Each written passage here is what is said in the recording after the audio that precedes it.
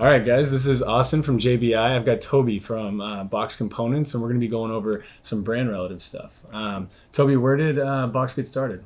Uh, long story. I had a company uh, that was doing really well back in the uh, know, late uh, 2000s, and um, anyway, um, sold the company and started to create another company. And we started Box about eight years ago. Okay. Started with uh, BMX racing as our as our primary product line, and about four years ago, we started diving into uh, the drivetrain market for mountain bikes. Right, so you started with BMX, and now you're jumping over to um, what's the new drivetrain you guys have going? Uh, we have uh, launching 2020 is the Prime Nine, which is our 9. nine-speed drivetrain. Nine speed drivetrain, and that comes in four iterations, is that correct? Right. Uh, we have tiers, box one through four across the whole line. So it's different price point. Box one being the highest, um, down to box five, six down the road. Right. So for this, this project, it's box one through four. Okay. Yeah. So um, on the the shifter, is that a, a drop down shifter? Can you shift multiple times going up and down the cassette? Uh, good question because um, our e-bikes you only shift one. right. Right. Right, Uh, so we have two Yeah. two uh, uh, shift um, pods. Right. Okay. So one is a multi-shifter, and one's a single shifter. Okay. Right. Um, and then what kind of range are we looking at for the cassette? So the cassettes um, anywhere from 11 to 42 to 11 to 50 Right. in between. So. So it seems um, some people may think that box is going backwards by going to nine speed. You know, uh, you got big guys like SRAM and Shimano going 11, 12 speed wireless. Right. What was the reason for going nine? Uh, less is more, really. Yeah. uh, uh, you know, uh, durability, reliability, simplicity, easy to work on. Um, no IP issues to have, Yeah, right? course, Things like of that. course, So uh, uh, we- we're a small company. We couldn't really chase, you know, 12, 13, 14, whatever's coming down the pipe. And uh, we found that with a lot of research that the nine-speed uh, product, as long as it had a modern range, people are going to be happy with. And and so far, the people that have it and enjoyed it and, and have seen it uh, actually feel that we're going in the right direction.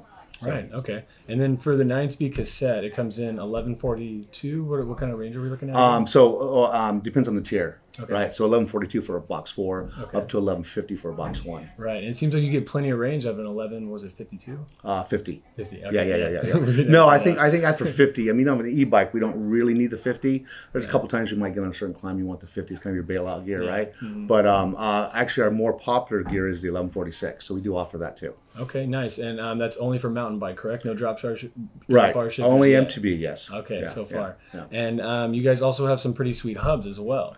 Right. We um, purchased Stealth Hubs uh, about two years ago. It was a, a California-based company with instant engagement, silent coasting, right? Which is there's only another brand out there that do that that does that. And um, anyway, we purchased it two years ago, and we took that product line from California and moved it to Taiwan. Mm-hmm. And basically, we think made the product a little bit better and brought the price point down about a third. You know, that's interesting whenever you talk about zero engagement because you got a lot of guys out there saying, oh, we have six degrees or we have 12 degrees, but you guys are instant. It's instant, yeah. and if you nice. felt the hub, it's absolutely instant. yeah. Right. So there are hub manufacturers out there that um, uh, are, have a quiet free hub whenever they're free spinning. Right. Or you guys have a like that ratcheting sound, or is it pretty? No, quiet? there's absolutely zero noise. Nice, So um, because of the system, there's act- well, there's no there's no drag in it. So when the pawls flip over or the needle bearings flip over, it's instantly So- quiet. sounds super efficient. It is. It is. Yeah. So uh, one question some people may have is if for whatever reason there's a problem with a drivetrain or uh, someone um, someone eats it on a mountain bike ride and they need to replace an item, how do you guys handle warranty?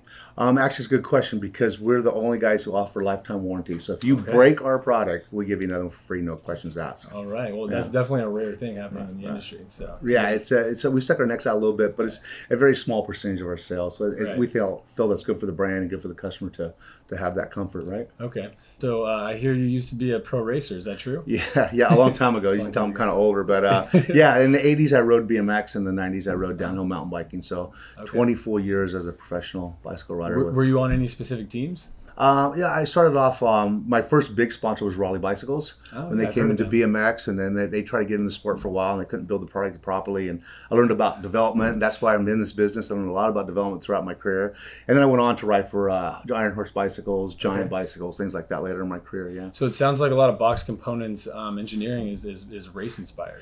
Yeah, I think that what we're trying to build is, is just the experience I've had on a bike. When it comes to a handle grip or saddle or whatever we develop, I think I've, I've held on a bike so much in my life that I think if the fuel is, is something I, I bring to the table. So, So these, these products are made and designed for people who I'm sure not only race but are also recreational riders. Yeah, I mean, for sure, if enthusiasts, for sure. I mean, Right. everything that we do is if you're into riding your bike, uh, we think our products fit you really well. Yeah. Right. So um, the box one, maybe the two, is more specific for racers, and box three can uh, maybe Yeah, more recreational rider. That's a that- good point. We call it performance, performance value. I mean, we kind of go down the list on, Yeah. on that, but definitely the box one was for the guys who are really into it. Yeah. So, so you guys are really trickling uh, the race um, level drivetrain even down into the recreational riders, so they can still get a piece of it, but maybe a little. I think the feel's the same. I think that you know, if you walk into a shop or something, you see the brake levers on the bike not sitting properly. and it was always a pet peeve of mine. I mean, if you put the brake levers right, even the guys that beginner, the bike's more comfortable. Right. So kind of that theory is kind of what we're thinking. As long as we bring that experience to the product line and educate the people on how that Mm-hmm. would work, we think you get a better feel and enjoyable ride out of that. So. Okay, so um, you know the big boys out there, SRAM, Shimano, it's all OEM spec. Any Right. any bike shop you walk into is going to have SRAM and, and Shimano. Are you guys working on OEM stuff? Yeah, for 2021 model year, which comes up in the next three months, we actually have a lot of bikes that are, are going to be Spawny spec. Took a lot of years to get to that point. Oh, but I'm sure, We I'm finally got there. Yeah, yeah, you got your, your foot in Yeah, the door. Okay, right. and you can't talk about any of those sponsors. I don't want. I don't want to talk about the brands right now. Yeah. until the bikes hit the floor. Yeah. Keep it hush hush for Yeah. Yeah, yeah. that's good. That's good.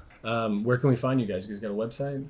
Uh, boxcomponents.com is well who we are. Yeah, and it shows our mountain bike and our BMX divisions there. So Sweet. Uh, well, thanks for stopping by JBI, Toby. Um, we appreciate Box coming in and giving us some info on the on the brand. Uh, if you guys have any questions or comments, feel free to leave them below, and uh, we'll catch you next time. thanks, Dawson. Yeah. Bye.